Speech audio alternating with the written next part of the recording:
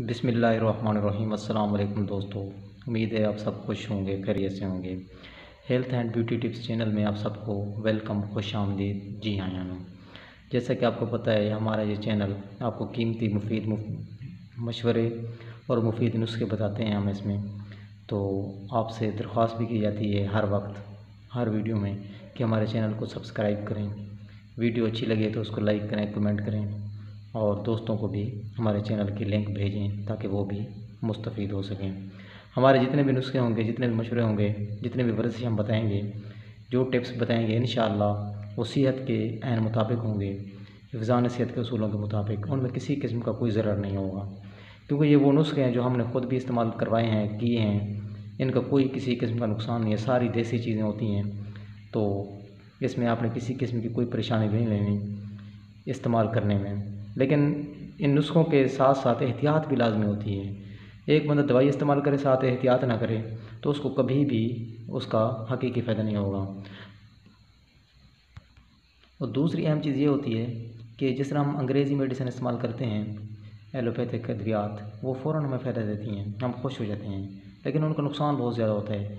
ये जितने भी नुस्खे होते हैं, देसी चीज़ें होती हैं, इनका नुकसान एक तो कम होता है, ना होने के बराबर होता है, अगर मकदार है इसकी मुनासिब हो। तो दूसरी अहम चीज़ ये है कि इसका इस्तेमाल जो है करने से कुछ अरसे बाद जा कर ना इसके असरात निकलते हैं फ़ौर नहीं निकलते हैं, इसलिए इनका नुकसान कम होता है, ये देर पास सर होता है फिर इसका। चलें, अब हम बात करते हैं आज के नुस्खे की।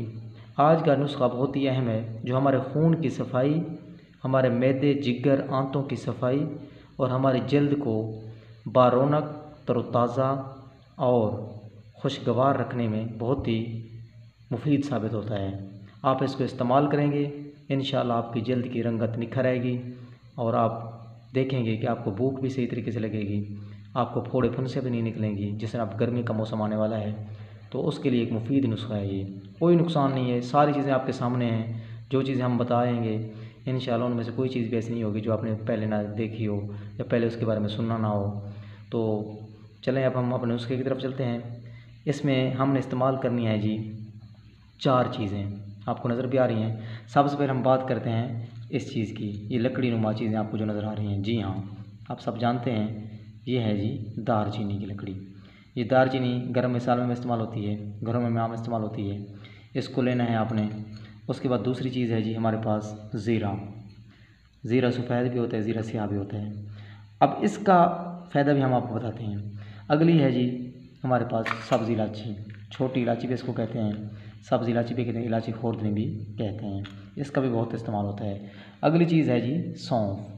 सौंफ से कौन वाकिफ़ नहीं है? हर कोई वाकिफ़ है सौंफों से। इसका इस्तेमाल भी बहुत किया जाता है घरों में भी। अब हम बात करते हैं दार चीनी से शुरू करते हैं। बहुत ही मुफीद चीज़ है।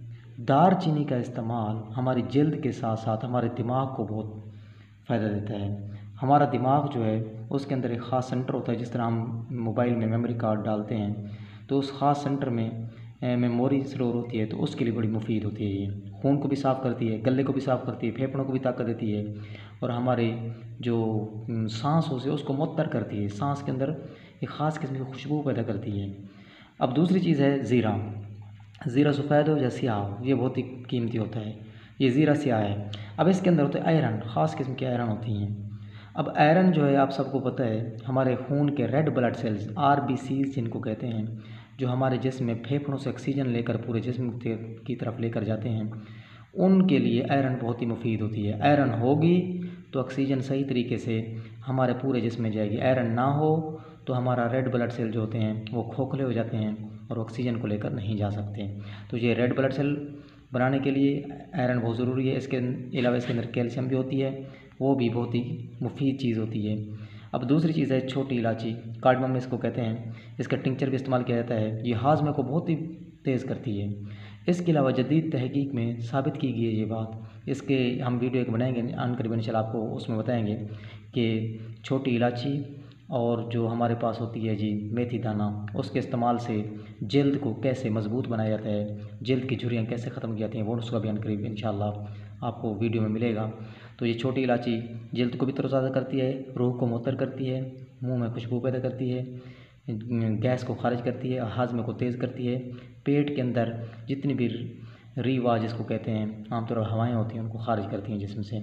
और अगली चीज़, सौंफ है, सौंफ बहुत ही कीमती होते हैं। ये जल्द को बहुत बेहतर करते हैं। सफ़ेद रंग बनाते हैं, जल्द का और हमारे जिगर को मज़बूत करते हैं, फासद मादे जितने भी हैं जिसम के, वो खारिज करते हैं। अब इन चार चीज़ों का नुस्खा कैसे बनाया गए इन चार चीज़ों को मुनासिब मकदार में लेना है। ऐसे, फ़र्ज़ की इतनी आपने लिए दारचीनी अब इसके अंदर दो इलायची डालेंगे और उतनी ही आधी चम्मच के बराबर हमने ज़ीरा डालना है और आधी चम्मच के बराबर डालने हैं सौंफ। अब इसको इस्तेमाल कैसे करना है? इन चीज़ों को रात को पानी के अंदर डाल के हल्का गर्म कर लेना है। हल्का गर्म करने के बाद जब आप देखें कि उसका रंग जो है वो पानी के अंदर चढ़ गया है, उसके बाद इन चीज़ों को ढाँप कर रख दें सारी रात। सारी रात ढके रहें, सुबह उठें। अब इसके भी दो तरीके हैं आगे, जो आपको बेहतर लगे वो बेहतरीन है। अब असल तरीका तो ये है कि आप इन चीज़ों को छान कर वो जो पानी होगा वो पी लें।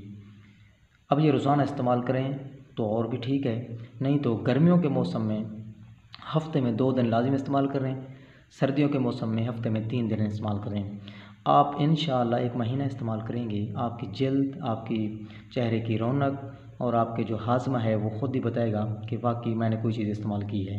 लेकिन गर्मियों में इसकी थोड़ी सी एहतियात होती है कि गर्मियों में आप इसको थोड़ा मकदार में इस्तेमाल करें। ज़्यादा गर्मी, तेज़ गर्मी, शदीद गर्मी हो तो हफ़्ते में एक दफ़ा यानी महीने में ज़्यादा से ज़्यादा गर्मियों में इसको चार दफ़ा इस्तेमाल करें। और सर्दियाँ जब हों तो आप इनको गर्म हालत में थोड़ा सा इस्तेमाल करना है, यानी पानी रात को भिगो के रखेंगे ना तो सुबह उसको हल्का गर्म करके फिर पीना है। सर्दियों में गर्म करके पिए, गर्मियों में इसको ऐसे ही जैसे पड़ा होता है, सुबह उठाकर उसको छान कर पी लें। निहार मुँह पी लें, कोई मसला नहीं है। अगर आप खाने के आधे घंटे बाद इस्तेमाल करें, फिर भी कोई मसला नहीं है। दोनों हालतों में ये मुफीद होता है। उम्मीद है आपको ये वीडियो अच्छी लगी होगी। आप इसको इस्तेमाल करेंगे, फिर हमें कमेंट में बताना। मज़ीद अच्छी वीडियोज़ के लिए आप हमारे साथ ही रहिए। इन आपको बहुत ही मुफीद टिप्स मिलेंगी। वीडियो देखने का बहुत बहुत शुक्रिया। अल्लाह